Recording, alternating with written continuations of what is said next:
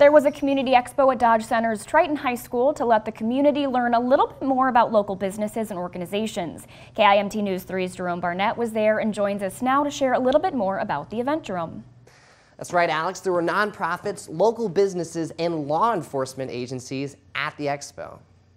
All these vendors gave the Dodge Center community a chance to learn about the services they offer. There were also different forms of entertainment, like a Boy Scouts Pinewood Derby, an Elvis Presley impersonator, and some young dancers. One of the event organizers says the world needs Elvis. You can sing to it.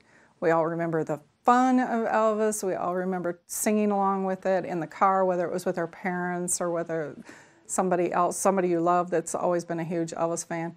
And watching him do it with just a few instruments, you don't have this giant band, you don't have all these synthesizers, you have real music. She also says she enjoyed connecting with people there that she hadn't seen in a while. Thank you, Jerome.